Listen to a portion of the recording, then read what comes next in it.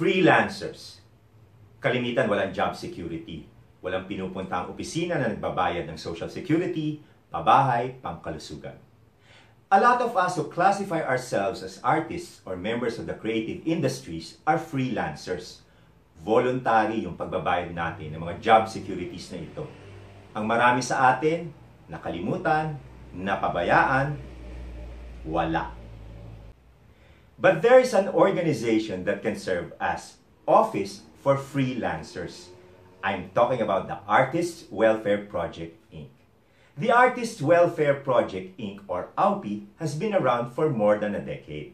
Since 2017, AUPI has partnered with Coco Life to tailor-make an HMO for freelancers. Ang ibig sabihin nito, freelancers through AUPI and Coco Life can have health insurance. For a reasonable amount per year, insured ka for 75,000 pesos per illness. Kasama pang hospitalization, doctor's fee, lab fee, ambulance service fee, emergency room, dental at annual physical exam. At kung pumanaw ka, God forbid, may living assistance. So, if you are a freelancer, artist, creative industry member, puntahan nyo na ang Artist Welfare Project Inc. Facebook page. Sign up, isama nyo na yung mga pamilya at kaibigan ninyo para magkaroon kayo ng Alpi Coco Life Health Insurance.